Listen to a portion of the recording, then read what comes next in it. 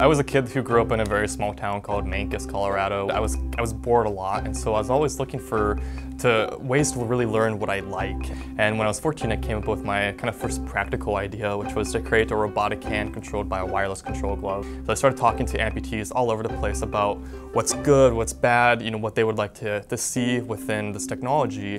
At the time, I had a couple 3D printers in my bedroom where I would pretty much print 24-7, so that allowed for rapid prototyping and rapid iteration where I could make something, print it out within a day to see if it works or not, and then keep doing that until I have something that really works works and uh, is, is functional. I was approached by a man named Tony Robbins when I was 18 that uh, saw what I was doing actually through a TED Talk I gave and really uh, saw an opportunity to help take this to the next level. This technology was you know, still being produced in my bedroom, um, but had a, an opportunity to help people all around the world. And so together we partnered together to form a company called Unlimited Tomorrow. So my goal of, of everything I do is to help people. My goal is to get this technology to everybody who needs it in the world. For making this technology really easy to create, but also really functional. So the product can really speak for itself. This can benefit from filming to um, automation and, uh, university settings and things like that. So um, you know, there, there's a lot of different opportunities throughout this.